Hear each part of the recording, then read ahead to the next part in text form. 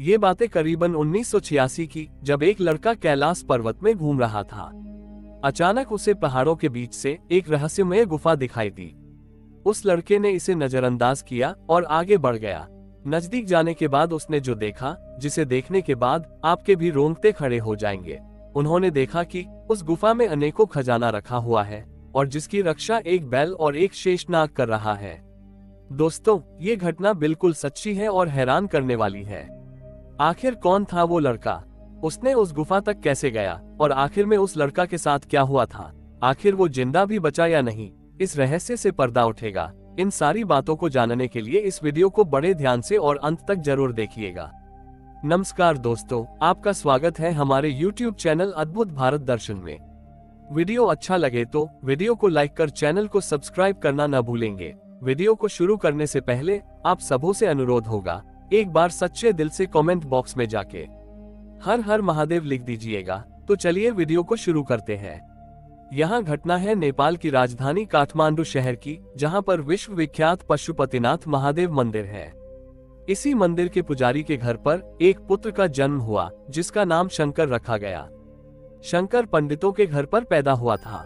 इसलिए बचपन से ही महादेव के प्रति भक्ति उसकी रग रग में समाई हुई थी। क्योंकि नेपाल के काठमांडू से कैलाश मानसरोवर की यात्रा की जाती है। ऐसे में शंकर के दादाजी उसे हर समय कैलाश पर्वत की अलग अलग कहानियाँ सुनाया करते थे। उनका कहना था, कैलाश पर्वत की गुफा में हज़ारों साल पुराना एक खजाना मौजूद है, जिसकी रखवाली स्वयं नंदी बैल और शेषनाग करते हैं। बचपन से ही शंकर को उसके दादाजी ने महादेव की भक्ति की प्रेरणा दी थी और कैलाश के रहस्यों के बारे में भी कई बातें बताई थी। अब जैसे जैसे शंकर बड़ा होता जा रहा था, कैलाश की परिक्रमा करने की उसकी इच्छा भी और बढ़ रही थी, और जब वो 24 साल का हुआ, तब तक उसके दादाजी उसका साथ छोड़ चुके थे। परंतु दादाजी के बताए गए कैलाश के रहस्य आज भी उसके दिमाग में घूमा करते थे। उसने अपने माता पिता से आज्ञा ली और चल पड़ा, कैलाश की परिक्रमा की ओर। सबसे पहले यात्रा के पहले पड़ाव में वो काठमांडू के फ्रेंडशिप ब्रिज पहुँचा, जहाँ पर कैलाश मानसरोवर जाने वाले यात्रियों की चीनी अधिकारियों द्वारा चेकिंग की जाती है। जिसके बाद यात्रा का पहला पड़ाव नायला होता है। श्याम तिब्बत में है, जिसके बाद दो सौ बासठ किलोमीटर का सफ़र तय करके शंकर सागा तक पहुँचा। सागा के बाद प्रयाग तक पहुँचने के बाद अगले दिन वो कैलाश मानसरोवर पहुँच गया, परंतु उसे तो अपने दादाजी द्वारा बताए गए कैलाश की परिक्रमा करनी थी।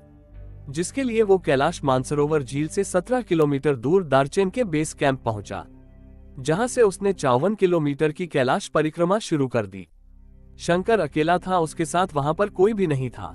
वो भूखा प्यासा महादेव के भरोसे ही उस गुफा तक पहुँचना चाहता था, जिसके बारे में उसके दादाजी बताया करते थे और जब उसने 10 किलोमीटर का सफ़र तय कर लिया था, तब वो एक ऐसी गुफा तक पहुँचा, जिसे सामान्य आँखों से नहीं देखा जा सकता था। उस गुफा में इतनी चमक थी कि उसकी चमक से उसकी आँखें चौंधिया रही थी, और उसी गुफा के बाहर एक नंदी बैल और शेषनाग पहरेदारी कर रहे थे।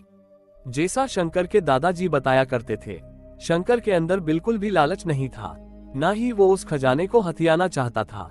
वो इस गुफा के पास पहुँचा और नंदी बैल और शेषनाग को उसने प्रणाम किया। वो दिखने में बहुत दिव्य और चमत्कारिक मालूम हो रहे थे, परंतु उन्होंने शंकर को जरा सी भी क्षति नहीं पहुंचाई, जिसके बाद शंकर अंदर गुफा में चला गया। शंकर ने अंदर जाकर देखा कि गुफा में बेशकीमती हीरे जवाहरात जड़े हुए हैं और अरबों खरबों का खजाना पड़ा हुआ है। परंतु वही दूसरी और साइड में बहुत सारे नरकंकाल भी पड़े हुए थे।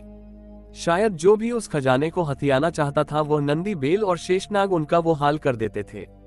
परंतु शंकर के मन में खजाना हथियाने की कोई इच्छा नहीं थी। उसने उस दिव्य खजाने के दर्शन किए और पुनः खाली हाथ बाहर लौटाया और पुनः अपनी परिक्रमा के लिए रवाना हो गया। नंदी बैल और शेषनाग भी उससे बहुत प्रभावित हुए, क्योंकि ऐसा दिव्य व्यक्ति उन्होंने भी सदियों में पहली बार देखा था। परंतु शंकर को अपने दादाजी की कही बात पर बिल्कुल विश्वास हो गया था। वो हमेशा कहते थे कि कैलाश पर्वत की गुफा में खजाना मौजूद है, जिसकी रखवाली एक दिव्य नंदी बैल और शेषनाग करते हैं। जिसके बाद अगले 20 दिनों में शंकर ने कैलाश पर्वत की परिक्रमा संपूर्ण की और अपने दादाजी के सपने को पूरा करके दिखाया। जब वो पुनः काठमांडू पहुँचा तो वहाँ के लोगों ने शंकर का धूमधाम से स्वागत किया, क्योंकि कैलाश पर्वत की परिक्रमा करना इतना आसान काम नहीं है। ये केवल वही कर सकता है, जिन पर स्वयं महादेव का आशीर्वाद होता है। तो दोस्तों नीचे कमेंट बॉक्स में हमें बताइएगा कि, अगर ज़िंदगी में कभी आपको मौका मिले कैलाश पर्वत की परिक्रमा करने का तो क्या करना चाहेंगे? हमें नीचे कमेंट बॉक्स में आप ज़रूर बताएँ। अगर वीडियो पसंद आई है तो लाइक करें और ऐसी सत्य चमत्कारी घटनाएँ देखने के लिए हमारे चैनल को सब्सक्राइब करके बेल आइकन को प्रेस कर लें। चलिए मिलते हैं हमारे एक नए वीडियो के साथ। आप सभी दर्शकों को, हर हर महादेव।